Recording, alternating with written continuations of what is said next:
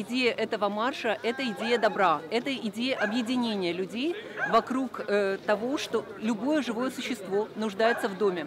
Оно нуждается в ответственном к нему отношении. Оно нуждается в том, чтобы у него был хозяин. То есть мы рассказываем людям о том, как это можно сделать, почему не страшно брать животных из приюта, и почему важно объединяться всем вместе вокруг э, и против жестокого обращения с животными. Я тоже.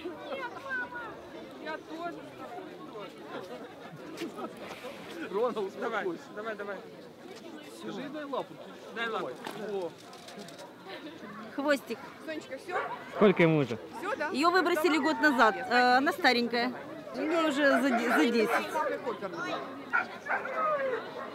Выбросили зимой. Друзья мои, подтягиваемся, пожалуйста. Такое у нас прячется.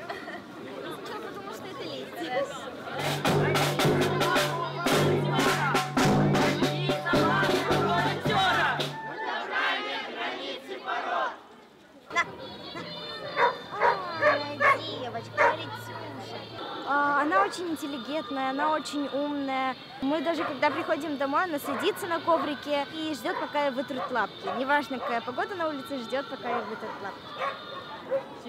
Спокойно. Человека!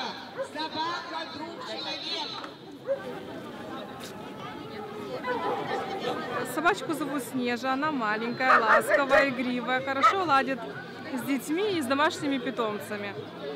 Ищет дом, ищет любящую семью, подойдет семья с детками.